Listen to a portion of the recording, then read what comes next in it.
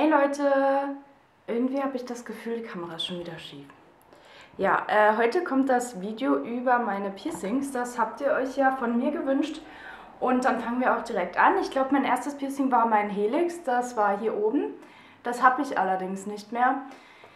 Das hat bei mir ein Jahr gedauert, bis es geheilt ist. Und ich habe das ähm, bei einem Juwelier schießen lassen und das war keine gute Idee. Also ich glaube, hätte ich stechen lassen, hätte es nicht so lange gebraucht. Natürlich waren die Ohrringe an allererster Stelle und ich habe auch jeweils hier noch ein zweites, habt ihr aber alle draußen. Meine Tunnel hatte ich ungefähr mit 12 oder 13 gedehnt, aber erst nur auf einem Ohr. Und ja, das war bis 20 mm und dann hatte ich beide auf 14 und ja, dem tut halt weh. Leider, aber es ging bei mir relativ schnell. Ich habe natürlich nicht die einen Monat, den Monat dazwischen gewartet, aber mir ist da nichts passiert. Aber ja, das eine von den zwei Ohrlöchern hat sich immer entzündet, deswegen trage ich da jetzt gar keine mehr.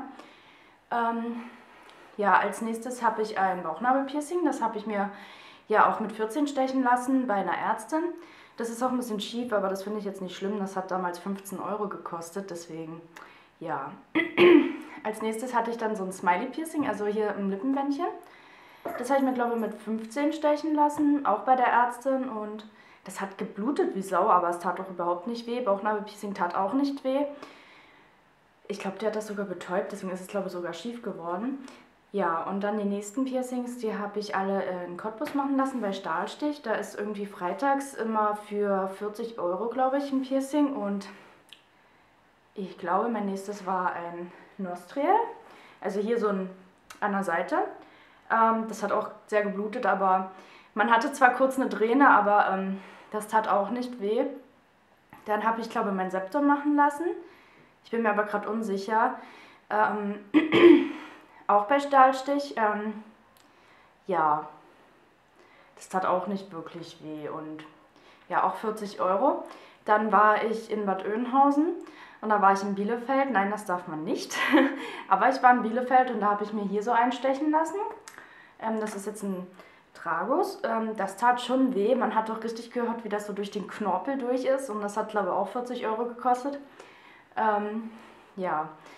Und die Abheilung war super, genauso wie beim Septum, Nostril. Das hat alles geklappt. Also hier hatte ich mal ein bisschen Wildfleisch, aber ähm, da hatte ich ähm, Tyrosol genommen. Das ist so ein Gel, das könnt ihr in der Apotheke holen. Und damit ist es dann auch gut weggegangen. Und dann kam, glaube ich, mein Medusa. Ähm, das habe ich auch in äh, Cottbus machen lassen. Mir hatte jemand gesagt, dass das nicht ähm, richtig mittig ist. Das ist leider auch so. Das habe ich jetzt gerade draußen. Äh, heute habe ich mein Septum nur drin. Ähm, äh, mir ist es halt einfach sonst zu viel im Gesicht. Und ja, ähm, viele haben gesagt, dass die äh, Lippe total anschwillt. Bei mir war das überhaupt nicht so. Also es gibt auch Fälle, bei denen es nicht so ist. Also habt da keine Angst. Und ja, dann das zweitschlimmste Piercing war wahrscheinlich mein Zungenpiercing. Ja, ähm, und das habe ich mir in Hamburg stechen lassen bei einer Freundin. Also mit einer Freundin bei einem Piercingstudio. Ich weiß gar nicht, wie viel ich dafür bezahlt habe. Ich glaube auch 40 oder 60. Und oh, das war so schrecklich. Ich konnte drei Tage lang nichts mehr essen. Natürlich habe ich gleich am ersten Tag Suppe mit irgendwie so Bruschetta-Brot gegessen. Oder Bruschetta, keine Ahnung, wie man es ausspricht. Und oh, es tat echt weh. Und meine Zunge war auch richtig angeschwollen. Ich hatte mega Angst, aber das ist dann Gott sei Dank auch wieder weggegangen. Ja, ich glaube, das war es eigentlich schon. Ich muss gerade kurz überlegen. Ich hätte eigentlich gern noch Cheeks gehabt, aber jetzt mittlerweile denke ich mir so, hm, also ich habe hier so Gröbchen, da sieht man schon gar nicht mehr so, habe ich ja eigentlich von Natur aus und ich weiß nicht, wenn dann da so die Löcher sind, ob ich das schön finde.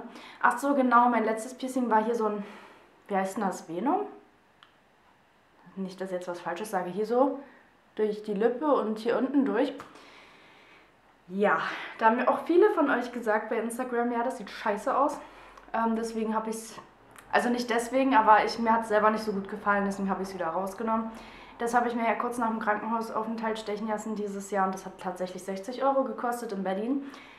Ja, da war auch ein Tätowierer, den würde ich euch nicht empfehlen, aber ich möchte jetzt auch keine Namen sagen. Jedenfalls, wenn ihr euch tätowieren lassen wollt, dann geht zu einem guten Tätowierer. Übrigens gibt es über meine Tattoos auch schon ein Video, das könnt ihr euch auch gerne anschauen. Ich kann es ja mal verlinken. Und ja, genau. Ähm, mein Wunsch ist es eigentlich noch hier so unter den Schlüsselbeinen so eine, äh, wie nennt man das? Implantate. Na, nicht Implantate, sondern halt so eine Piercings. Mir fällt jetzt gerade nicht der Name ein. So eine Surface-Dinger oder so eine kleinen Platten, die dann da drunter kommen. Das hat eine Freundin von mir gehabt, das hat aber nicht lange gehalten, deswegen bin ich mir das ein bisschen unsicher und ich denke mir immer so mit den Haaren, wenn ich die so kämme, nicht, dass ich dann so da dran komme. Ja, mal sehen, ob ich das mache. Hinten ein Nape fand ich auch super cool. Hatte auch ähm, mein Vorbild. äh, fand ich auch mega. Habe ich aber nicht gemacht, wegen, auch wegen den Haaren. Und ich finde es auch manchmal schön, wenn man hier so ein Steinchen hat. Das würde ich aber nicht machen. Ich weiß nicht, ich glaube, mich würde das einfach irgendwann nerven. So an der Lippe und so finde ich gar nicht schön, muss ich sagen. Hier finde ich schrecklich, da finde ich auch nicht toll. Ich meine, es gibt Frauen, wo das richtig schön aussieht so, aber ich finde es einfach jetzt nicht so... Also an mir würde ich es nicht gut finden.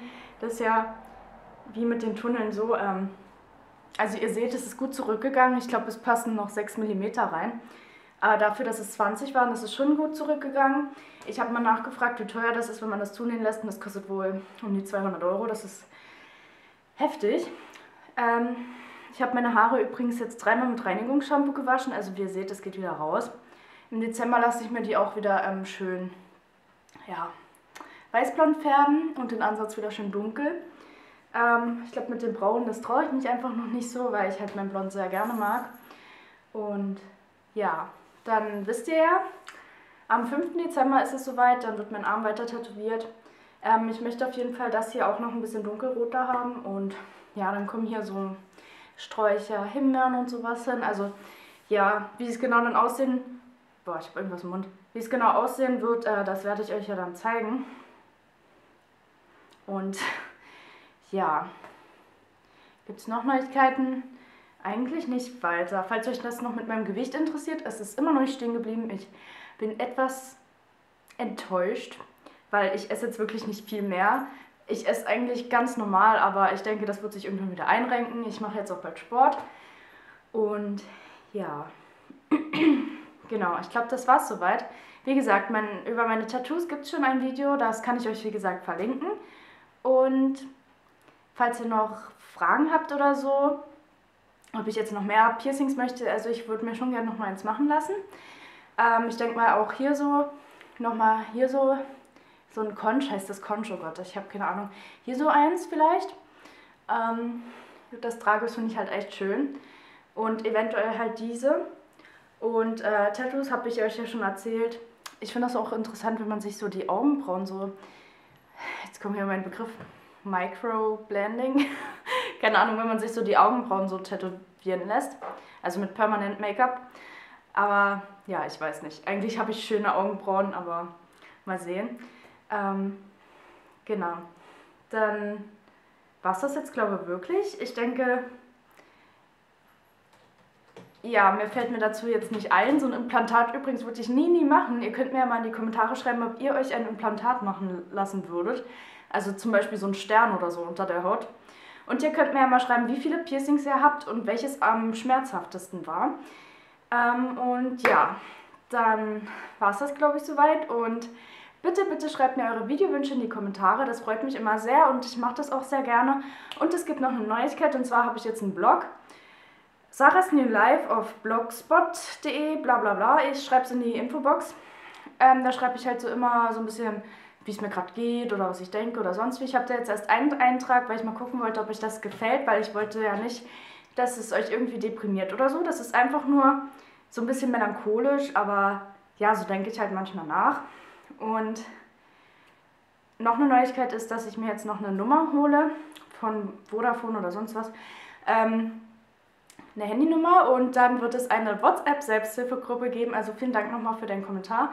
Und wenn ihr daran teilnehmen wollt, dann schreibt mir das auch in die Kommentare. Ich werde dann bald auf Instagram veröffentlichen und dann können wir uns gerne dort austauschen über eure Probleme oder Fragen oder Geschichten. Und ja, ich hoffe, ihr habt noch einen schönen Tag.